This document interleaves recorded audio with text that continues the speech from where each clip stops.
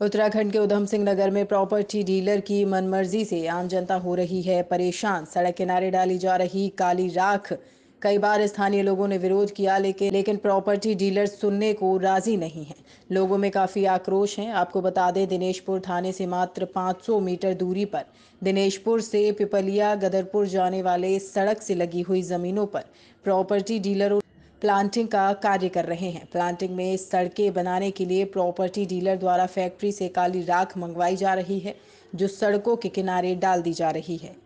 इसी सड़क से सैकड़ों बच्चे प्रतिदिन स्कूल, कॉलेज आते जाते हैं एवं सिडकुल जाने के लिए भी सैकड़ों मजदूर इसी रोड से जाते हैं। परंतु सड़क किनारे पड़ी काली राख से आम जनता को काफ़ी परेशानियाँ हो रही हैं। लोगों का कहना है कि हमें जब दोनों साइड से गाड़ी आती है, ऐसा लगता है कि भयंकर आंधी आ रही है। पूरा धुआँ धुआँ दिखाई देता है। कभी भी कोई बड़ी दुर्घटना हो सकती है। आप मेरा फेस देख सकते हैं अभी गाड़ी निकली थी यहाँ से। और उसमें ये हाल हुआ है मेरा आप देख सकते हैं ऊपर से नीचे तक। और इतना नाक में चली गई है पूरा गला खराब हो जाता है डेली यहाँ से निकलना रहता है हमारा।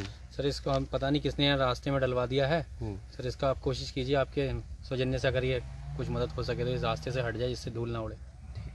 हो रही यहाँ पे? हम बहुत हम परेशान हैं। बच्चे आते जाते हैं उनके कपड़े गंदे होते हैं। मोटरसाइकिल निकलती है बस निकल गाड़ी दूसरी को निकलती है तहाँ बहुत परेशान है। सभी परेशान है लोग जितने निकलने वाले।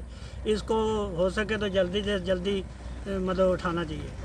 शासन प्रशासन क्या कहना है? अधिकारी से क्या कहना अधिकारी को यही कह रहे हैं जरा थोड़ा सा उनको कह के तो उनको उठवाया जाए। हाँ जैसे आपने वीडियो दिखाया उसमें ये दिख रहा है कि प्लॉटिंग का काम हो रहा है और रोड बन रही है।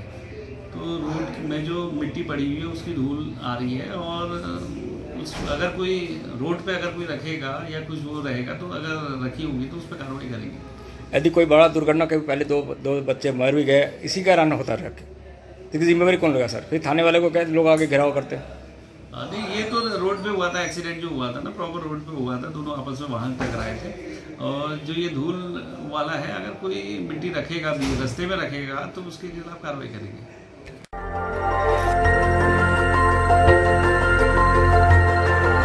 देखते रहिए डीबी भारती समाचार, नज़र हर खबर पर।